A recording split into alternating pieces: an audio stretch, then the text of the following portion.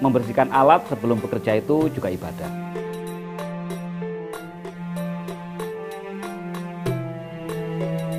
Mesin juga perlu diperhatikan, apalagi iman.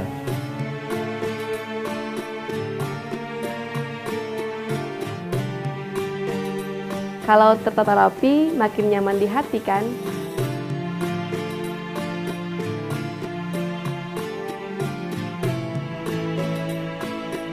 Banyak-banyaklah membaca supaya wawasan kita semakin bertambah.